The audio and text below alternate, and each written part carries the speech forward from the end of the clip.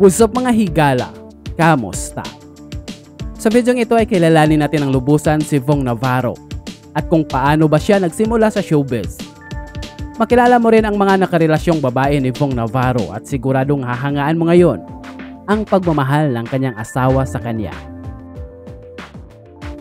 Malalaman mo rin kung sa anong murang edad nagkaanak si Vong Navarro at makilala mo rin siya bilang isang ama. Kaya panoorin lang ang videong ito hanggang dulo. Pero bago yan, kapag gusto mo ang ganitong ori ng video, mag-click lang po muna ang subscribe button at ang notification bell para palagi kang updated sa channel na ito. Maraming salamat po.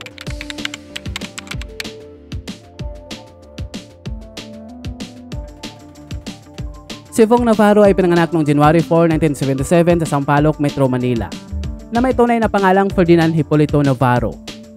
At noong nasa elementarya na siya, ay lumipat sila ng tirahan sa Makati. Dahil naghiwalay ang mga magulang niya na sina Danilo Navarro at Imelda Hipolito. At doon din nabuo ang kanyang mga pangarap na guminhawa sa buhay.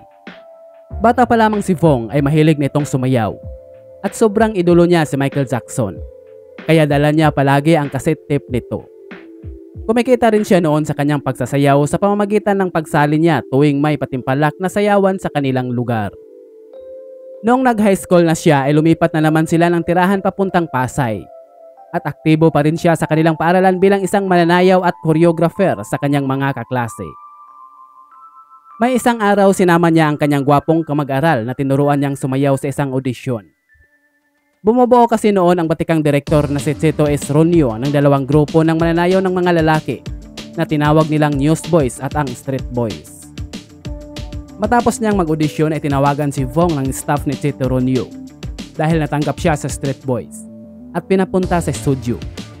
Pagdating niya doon ay laking gulat ni Cito Ronio bakit siya ang dumating. Yun pala ay nagkamali sila ng tinawagan. Yung kaklase niya palang gwapo ang tatawagan para sa Street Boys at si Vong ay sa Newsboys sana na grupo. Sa madaling salita ay nagkapalit silang dalawa. Kasi ang nasa grupo na Street Boys ay yung mga gwapo upang makahakot ng atensyon sa mga manunood. Mabuti na lamang ay nagustuhan siya ni Cheto Ronio. Kasi nakita sa kanya ang husay sumayaw, magaling makisama sa kagrupo, magalang at ang kagustuhang matuto. Sabi nga ni Vong sa isang interview, aksidente lang talaga ang pagkakapunta niya sa Street Boys at sobrang laki ng pasasalamat niya kay Direk Cheto Ronio dahil tinanggap siya. Kaya lang sa kanyang pagsasayaw ay may kinakailangan siyang isakripisyo. Kaya tinanong siya ng kanyang ama noon kung ano ang pipiliin niya. Ang pag-aaral ba o ang pagsasayaw? Nakita kasi ng ama niya na nahihirapan si Fong ipagsabay ang dalawa dahil aral sa araw at rehearsal naman sa gabi. Kaya madaling araw na nakakauwi si Fong sa kanilang bahay. Kaya pinili ni Fong ang pagsasayaw dahil yon ang nasa puso niya sa mga panahong iyon at para makatulong na rin sa kanyang pamilya. Ngayon ay isa si Vong Navarro sa pinakamahusay at pinakasikat na mananayaw dito sa ating bansa. Hindi lang nakilala si Vong bilang isang mahusay na mananayaw. Siya ay nakilala rin bilang isang magaling na komedyanteng artista at host sa noontime show na It's Showtime. Nagkaroon rin siya ng mga pinagbibidahang mga pelikula gaya ng Mr. Suave, Gagamboy, 88 Pamila Mila 1, The Anothers, Agent X44, So Papa Palicious, The Possessed, Walk Up Like This, Only Life, Mang Kipwing ang lihim ng banda ng itim at marami pang iba. Nagkaroon rin siya ng mga TV shows at ang unang labas niya sa television ay noong 1992 sa Home Along the Rails. Super Laugh In, ASAP, What Amen at marami pang iba.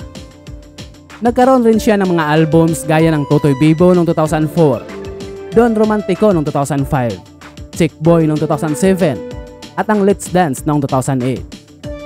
Sa mahigit tatlong dekada na ni Vong Navarro sa showbiz, ay napakarami na niyang nagawang proyekto sa telebisyon at pelikula. Kaya marami na rin siyang nakarelasyong babae. Kaya ngayon ay kilalanin naman natin ang mga nakarelasyon niya. Ann Shiara siya ang non-showbiz na kasintahan ni Vong noon na naging ina ng kanyang panganay na anak na si Frederick Vong Navarro. Ngunit naging lihim ang pagkakilanlan nito at nanatiling pribado ang anumang impormasyon tungkol sa naturang babae. Tanging pangalan lamang niya ang nais sa publiko. Sa murang edad na labing siyam ay naging ama si Vong at hindi niya naman pinabayaan ang kanyang anak at hindi nagkulang sa pagbibigay ng suporta lalo na ang finansyal. Bianca Lapus Naging bukas na aklat naman sa publiko ang pagkakaroon ng relasyon ni Vong noon sa isang aktres na si Bianca Lapos. Natatanda ang buntis si Bianca noon sa kanilang anak na si Isaiah Vong Navarro nang sila ay nagpakasal noong January 20, 1998 sa munisipyo ng Florida, Pampanga. Nasa tugatog ng karira si Vong noon sa kanyang pagiging street boys nang nabuntis niya si Bianca na dahilan ng muntikan na niyang pagkakatanggal sa street boys dahil ayaw ni Chito Ronyo noon na mabahira ng masamang reputasyon ang kanilang grupo. Kaya nakiusap si Vong kay Chito Ronyo na huwag siyang tanggalin at bigyan pa ng pagkakataon alang-alang sa kanyang buntis na asawa sapagkat kailangan niya ng pera pang suporta. Pinakinggan naman si Vong at binigyan ng pangalawang pagkakataon. Pero hindi rin nagtagal ang relasyon ng dalawa at nauwi sa hiwalayan ang pag-iibigan ni na Vong at Bianca. Ngayon si Bianca ay masaya sa feeling ng kanyang asawa at mayroon ng tatlong anak. Desiree Del Valle Noong naghiwalay si Navong at Bianca, ang sumunod naman na nauugnay sa aktor ay si Desiree Del. Ilang beses silang namataan sa publiko. At kahit ang mga anak ni Vong ay nakita ring nakasama si Desiree. Pero gayon pa man ay walang direktang pag-amin sa dalawa noong una. Dahil mayroon umano silang pinoprotektahan. Ito ay ang annulment case ni Vong Navarro sa dati nitong asawa. Pero noong 2008, ay hindi napigilan ni Desiree na aminin sa publiko ang relasyon nila ni Vong. Ang nagustuhan kasi ni Desiree sa kanya na maliban sa mabait na tao at magaling makisama, ay mabuting ama at anak sa kanyang pamilya. At madalas rin siyang napapatawa ni Vong, kaya napamahal siya sa kanya. Pero natapos ang tatlong taon ng pagkakaroon ng relasyon. Noong 2009 ay kinumpirma ng dalawa ang kanilang paghihiwalay pero hindi naman nila dinitalye ang dahilan ng kanilang paghihiwalayan.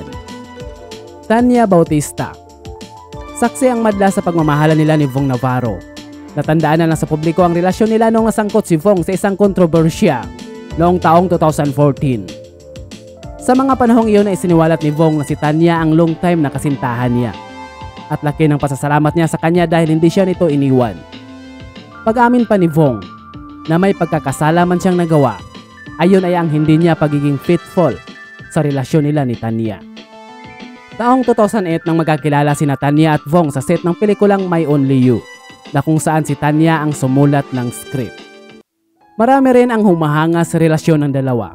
Kahit na may pagsubok man sa kanilang pagsasama ay hindi sila nagpadaig nito at mas lalo pa nilang pinatatag ang kanilang pagmamahalan. Kaya noong November 28, 2019, Makalipas ang labing isang taong pagiging magkasintahan, ay nagpakasal ang dalawa sa Four Seasons Hotel sa Kyoto, Japan. Maliban sa masayang pagsasama ng mag-asawa ay hindi naman maikakaila ang magandang koneksyon na nabuo ni Tanya sa mga anak ni Vong. Ngunit sa inaakalang tahimik na ang kanilang buhay, ay muling nagkaroon ng pagsubok ang mag-asawa. Ito ay matapos mabuhay ang kaso noong 2014 na kinasangkutan ni Vong Navarro tungkol kay Dennis Cornejo. At muling nakita ng madla ang pagmamahal ni Tanya kay Vong sa mga tudo suporta na binigay niya sa kanyang asawa.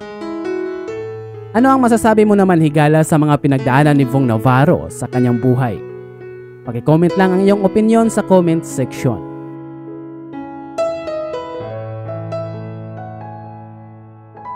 Kaya hanggang dito na lang muna mga higala at maraming salamat sa inyong panunood. At para sa mga bago pa lamang sa channel na ito at sa mga hindi pa nakapag-subscribe, pero gusto nyo ang ganitong ori ng videos, please click lang po ang subscribe button at ang notification bell para palagi kang updated kapag may bago kaming videos na nai-upload. Maraming salamat po. Always be safe and God bless you.